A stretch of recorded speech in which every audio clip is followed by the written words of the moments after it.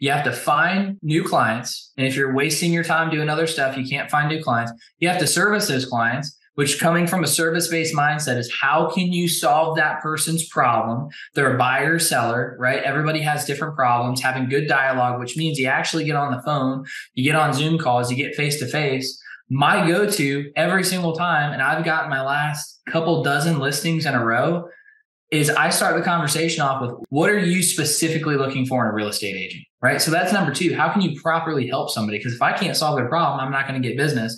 And then properly nurturing them. You need those three things as an agent. And then as a team leader, you need to be able to see very simply can the systems that I run seamlessly figure out if those agents are doing those three tasks?